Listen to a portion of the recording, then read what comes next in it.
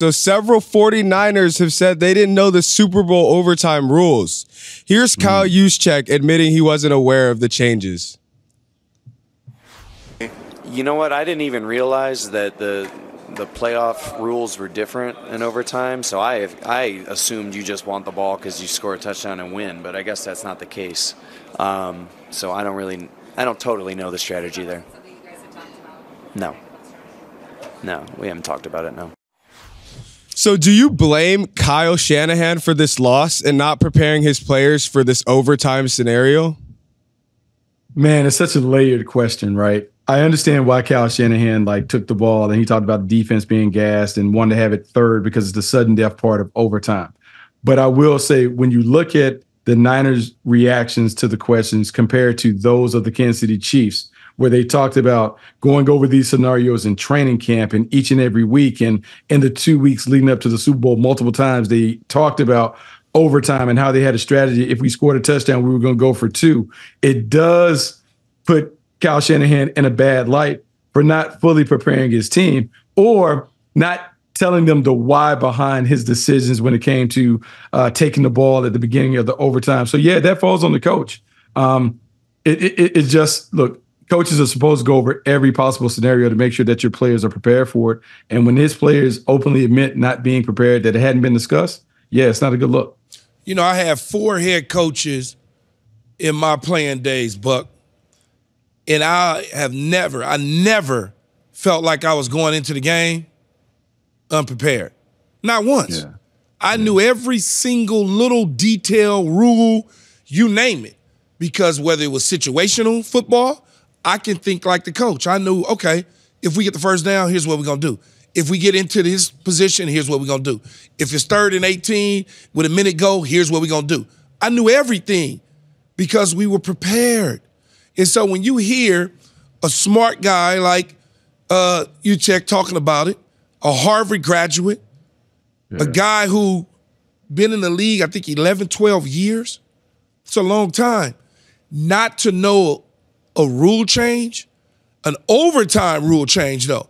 One of the biggest reasons they made the overtime rule change is with the team you was playing, the Kansas City Chiefs, against the Buffalo Bills in the playoffs.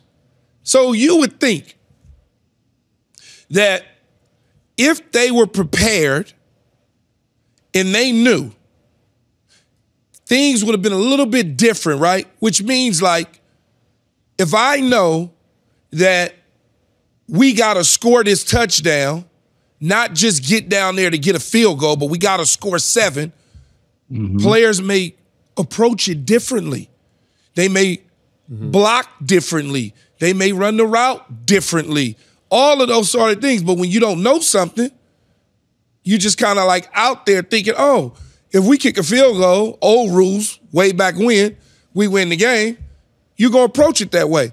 So a lot of it does fall on Kyle this isn't the reason that they lost the game. There's many mm-hmm. things we could point to in the Super Bowl as to why they lost, but it's kind of funny and ironic that Kyle Shanahan, for the third time, either offensive coordinator or head coach, has surrendered double digit leads to lose a Super Bowl.